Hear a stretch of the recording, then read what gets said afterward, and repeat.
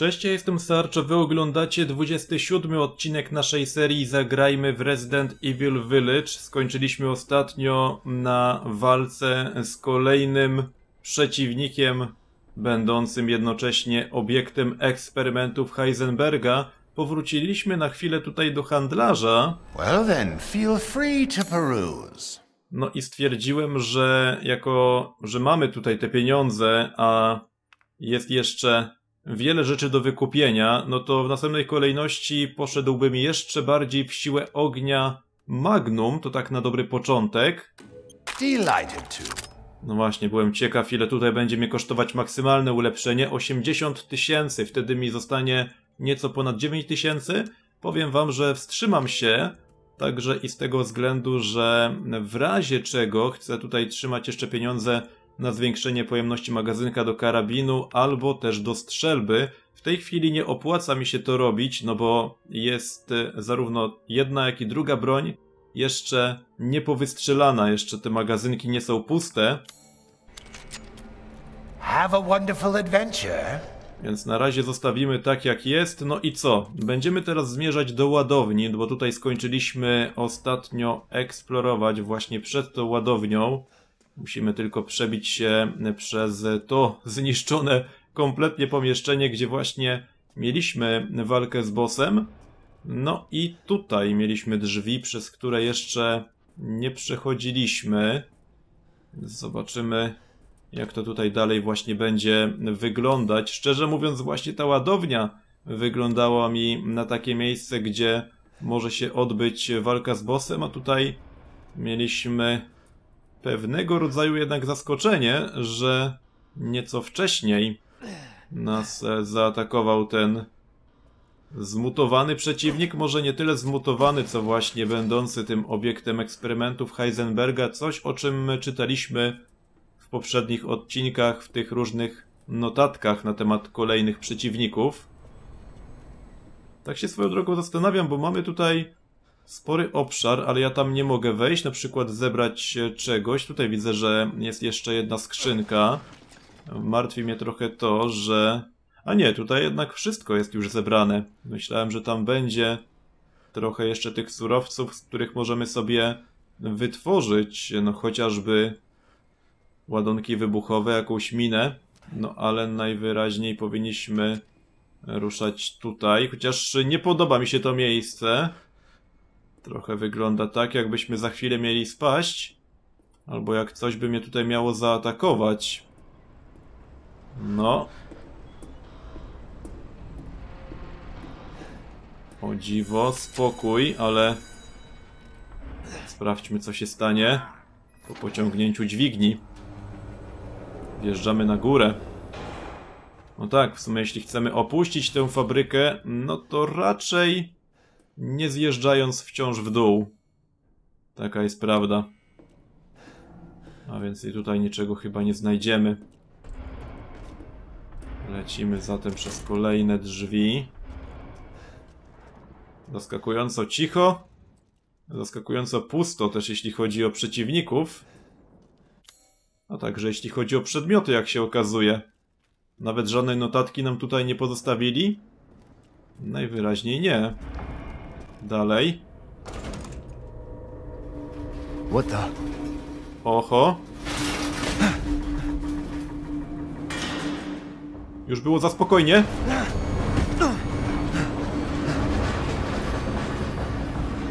Not bad, not bad, Winters.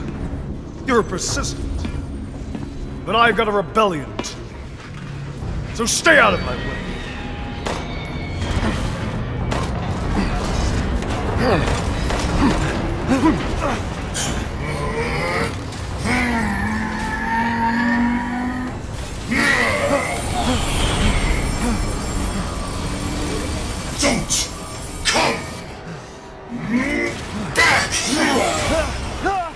Serio?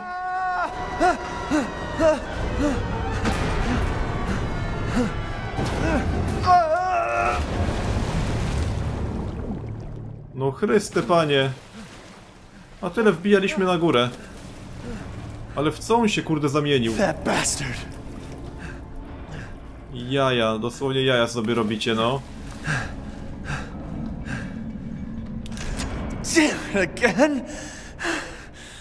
Nie no, to jest niesłychane. Ja znowu muszę się przebijać przez tę fabrykę? Grunt to znaleźć windę, ale... Jestem chyba jeszcze niżej niż do tej pory. Poziom B5. Dotychczas na B4 byliśmy, oto... Mam nadzieję, że będzie tutaj rzeczywiście ta winda. Oczywiście przejście przez kraty. No i chyba nic e, poza tym. Tak patrzę, czy nie ma też ewentualnie jakiegoś kozła ukrytego, ale nie tym razem chyba. Ale serio. To było dziwne. Heisenberg w swojej ludzkiej postaci chwilę później się nam jakby przemienił, zmienił w ogóle swój głos od razu. To nie wyglądało zbyt optymistycznie.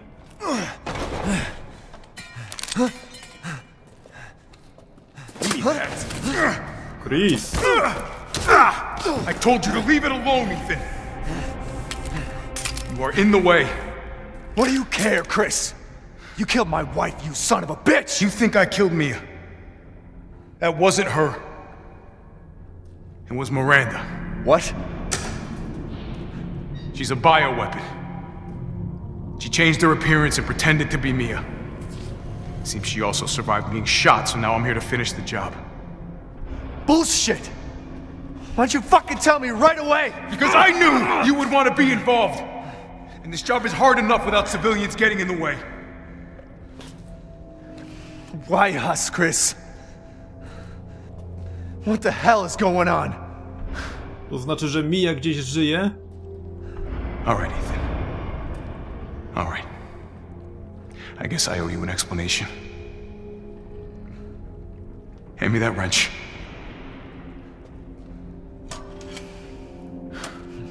Najlepsze jest to, że czytaliśmy wcześniej przecież o Mirandzie, które potrafi zmieniać swój wygląd. Nie wierzę.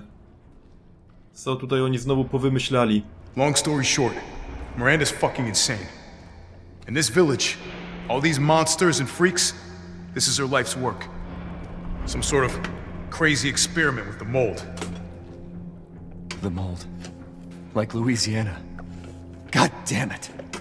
All this time, I thought I could save my family. I can't escape from here. I can't do anything! That might not be true.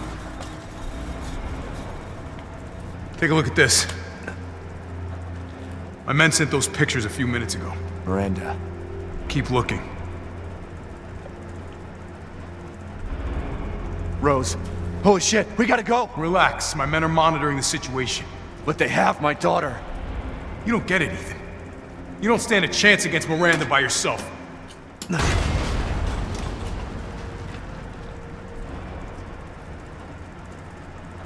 I will stay down here and finish planting explosives. You take that elevator, I'll meet you topside. I promise you, we will get your daughter back. Together. Damn straight we will. And when I find Miranda, she's a dead woman.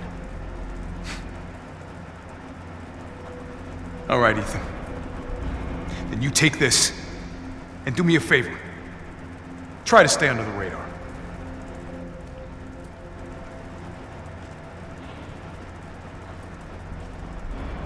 Can't turn back now. To się dopiero nazywają wieści.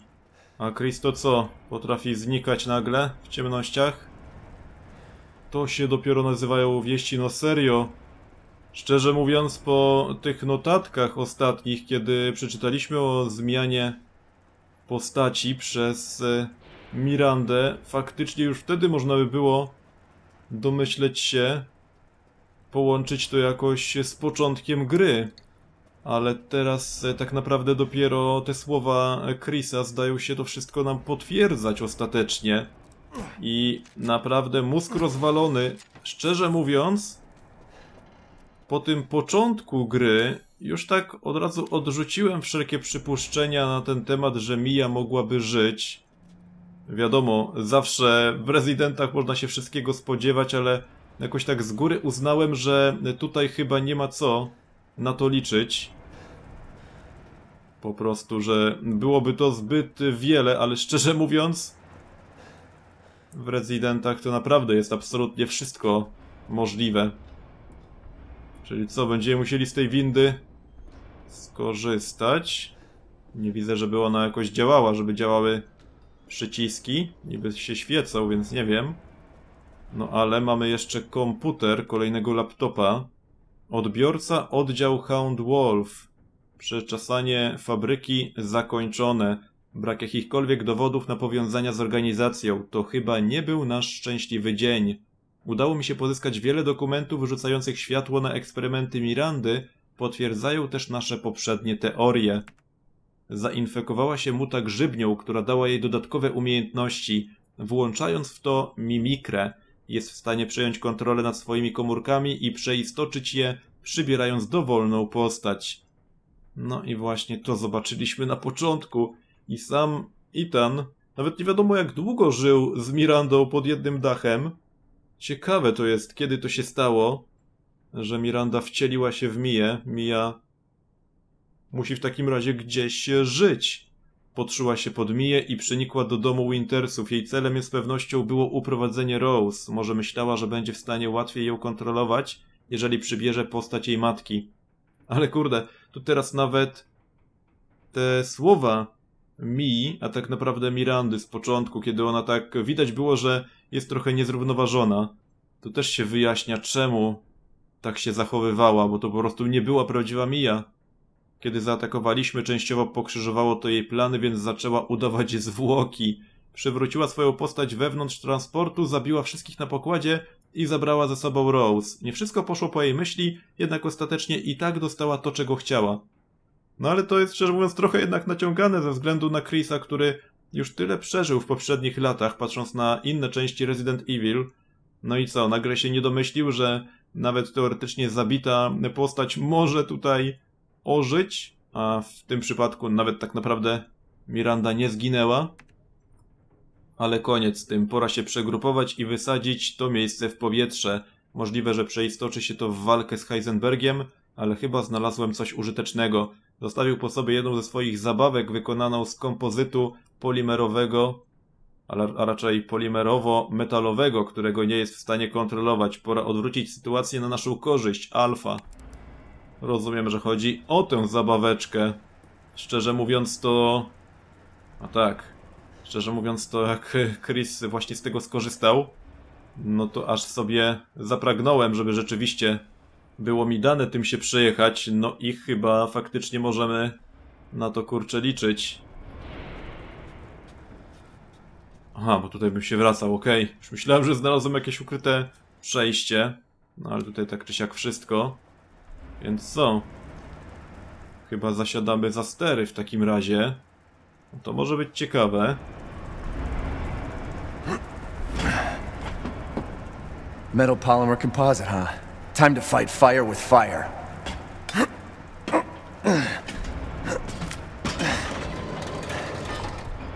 I'm coming, Rose. Okej, okay. obrona. Karabin maszynowy.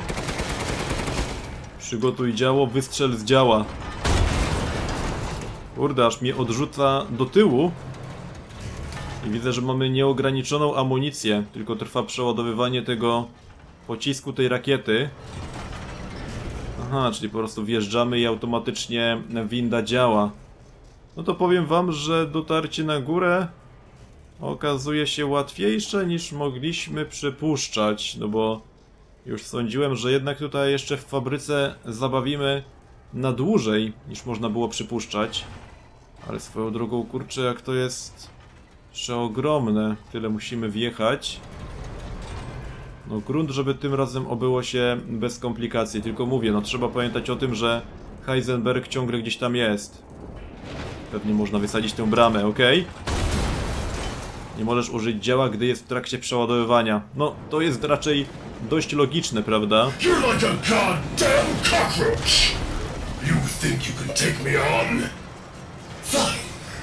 This'll be my warm-up before I kill that bitch. Let's settle this. Man a man. Your corpse will be another addition to my army! Ej, ej, ej. Hey now! You dead already? Dobra, tam mam celować te czerwone punkty. Not bad.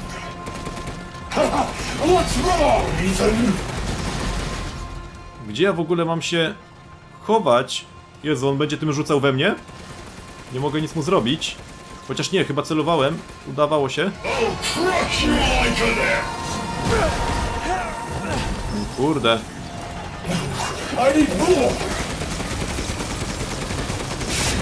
Jest. Czyli jednak udaje się.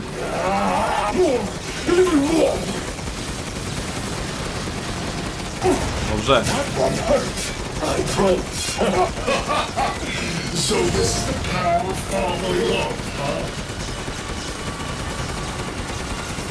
No trochę jeszcze. Nie. Better start praying. Hey.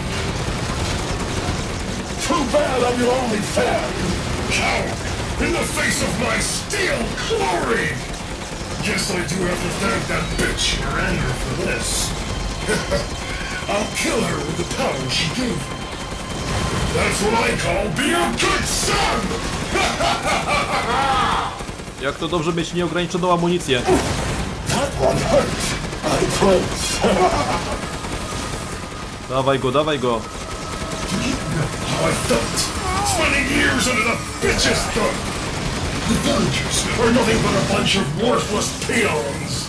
I'm a goddamn freedom fighter! I'll use your cute little daughter to become more powerful than ever!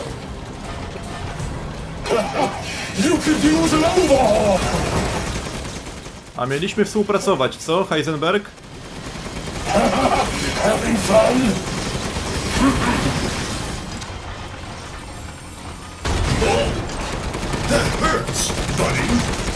Czy on w ogóle polegnie wreszcie?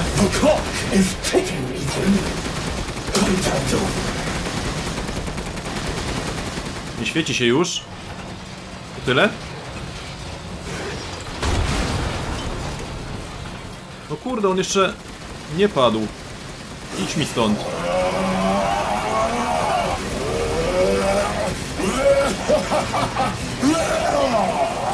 Co jest, co jest? So full of yourself!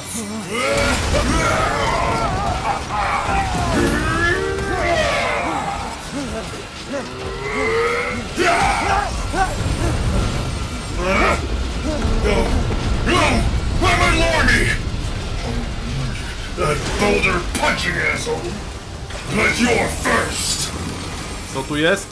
A, amunicja tylko, okej. Myślałem, że coś kurde specjalnego, żeby go załatwić.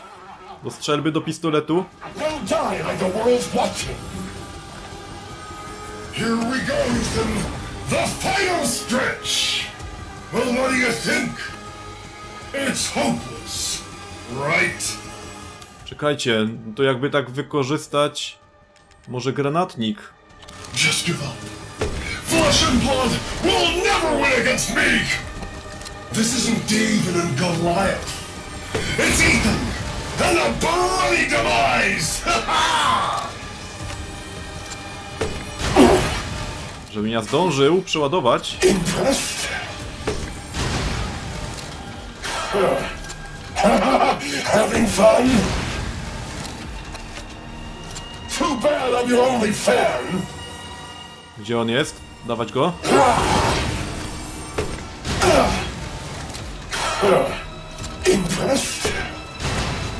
Ciekawości zerknę. Nie no, nie mamy chyba tutaj niczego więcej. No ile można?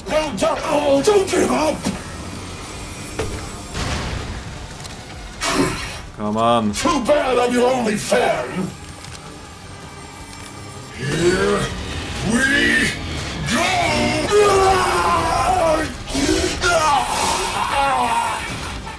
Padłeś już?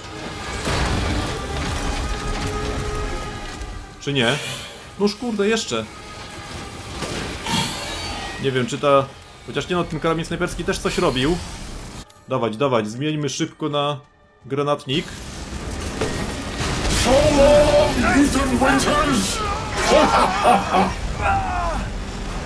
Nie no.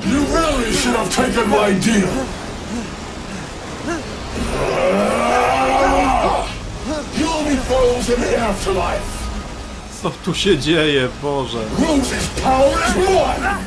Right after I murdered Miranda. This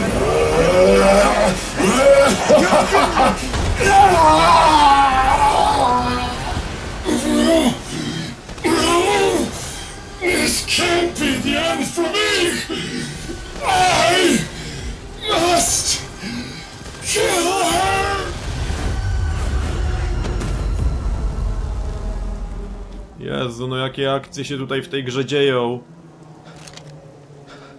Przechodzi to najśmielsze pojęcie.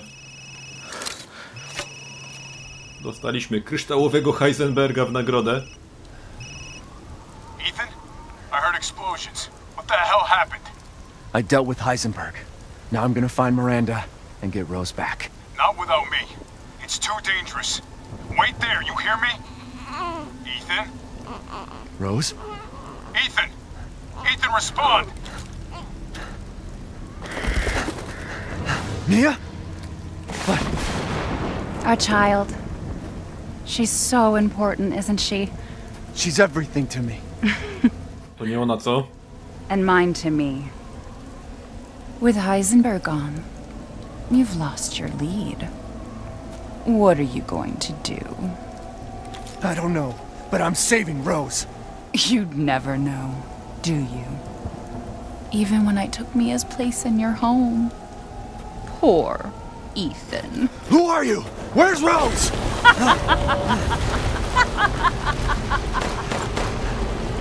Miranda. Enough.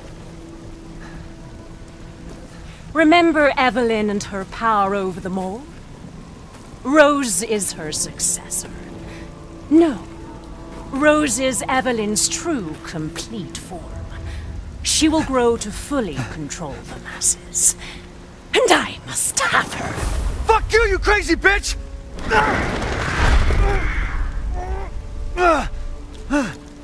Calm yourself.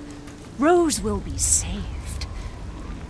The Megamycete catalogs all of us. However, she will be reborn as my daughter. She's my child, not yours! Where are you? Show yourself! Why did Rose come to be? Was it because of her parents? And you are truly a special case. But I've learned all I can from you. Your worth as a lab rat has run out. Miranda! You coward! Come out and face me! Don't worry, Ethan. Your death will come quick. You will join the Megamycete's records. Serio? I will make sure to sample your blood for later. Once dawn breaks, the ceremony will be complete, and I will become her true mother, bound for eternity in blood.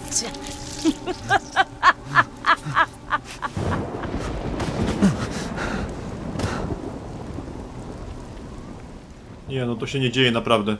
I've waited so long. But dreams really can come true. Vessel or not, I can't wait to see my true child again.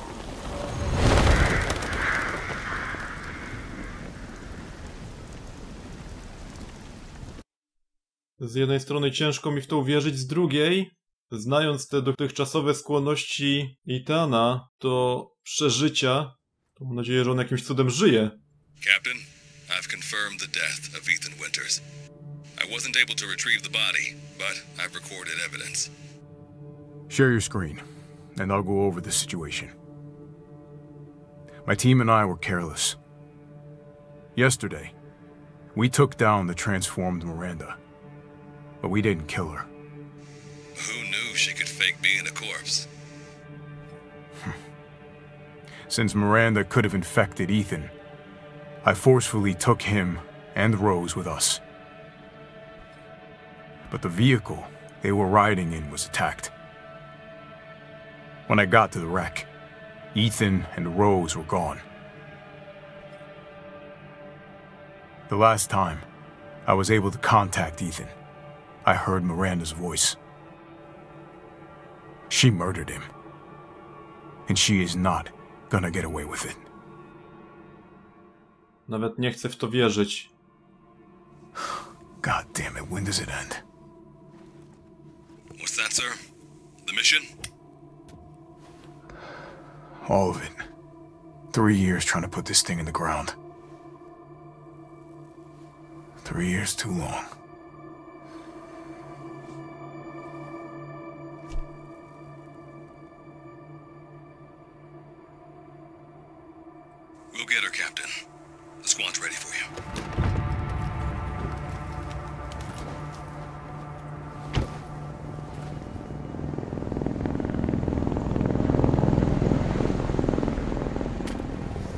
Oh, so BSAA got here already? They didn't waste any time? Mission adjustment? No, doesn't change anything. Terminate Miranda and rescue Rose. That's the mission. And failure's not an option. Let's have some fun, people. Like old times. Move out. Roger. Okay. K9, I want to know what the hell BSAA is doing here. Find out what you can. Roger that. I'm on it. Been a while since we fought together, Captain. When was it last? The desert? Doing nothing but recon's gotten me out of shape. But thanks to your recon, we know Miranda's plan. Couldn't quite believe it when I heard she turned herself into Mia, though. Taking five shots to the head's nothing to sneeze at either. Spooky. Co tu się wydarzyło? No serio, aż nie wiem co o tym wszystkim myśleć i... No mimo wszystko, chociaż wydaje się to szalone, nadal mam nadzieję, że i ten jakimś cudem żyje. No już wiemy, co się z nim działo. Tracił rękę, mógł stracić nogę i też e, mógł to przeżyć. No tutaj dosłownie Miranda wyrwała mu serce. I w normalnej grze, w normalnych warunkach od razu byśmy uznali to za śmierć, ale w takiej produkcji jak Resident Evil, gdzie mamy do czynienia z tą pleśnią, to już naprawdę nie wiem w co wierzyć i do samego końca jednak mam nadzieję, że jakimś cudem on to przeżyje. Czyli najwyraźniej wcielimy się teraz w Chrisa. Szykuje nam się oddzielny epizod z jego udziałem. No zajmiemy się tym w następnym odcinku w takim razie. Trochę niczym w dodatku DLC do siódmego Residenta. Zresztą ten dodatek nagrywałem na kanale. Zobaczymy jak to tutaj będzie wyglądać i przede wszystkim bardzo jestem ciekaw w jakim kierunku teraz pójdzie ta historia. Podzielcie się swoimi przemyśleniami w komentarzach, zostawcie kciuka w górę, jeśli odcinek Wam się podobał i do usłyszenia w następnym materiale. Cześć!